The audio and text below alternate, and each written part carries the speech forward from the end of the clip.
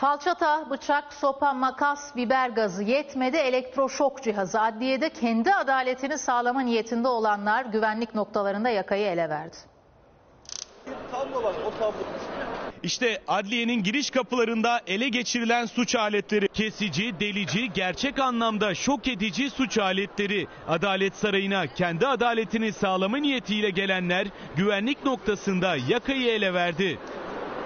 Şaşırdın mı bu masadakileri görünce? Yani evet ilginç elektroşoklar falan var. Onlarla ne yapacaklar bilmiyorum. İstanbul Adalet Sarayı yaklaşık olarak 5000 personelin çalıştığı, günlük avukat vatandaş sirkülasyonunun yaklaşık 50-60 bin kişi civarında olduğu Avrupa'nın en büyük adalet sarayıdır. Haliyle güvenlik seviyesi hep en üst düzeyde. Görenlerin şaşıp kaldığı bu sergide ispatı.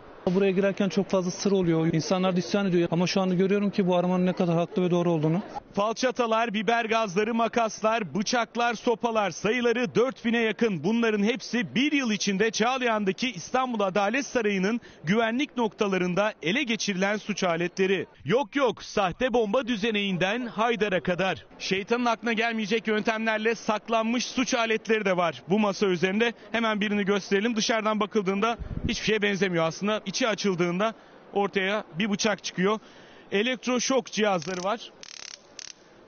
Bunlarsa baktığınızda parfüm şişesi gibi ama bunlar da yine elektroşok cihazı. Bu nedir efendim? Bir araba anahtarı ama bakın anahtar yerine bıçak çıkıyor.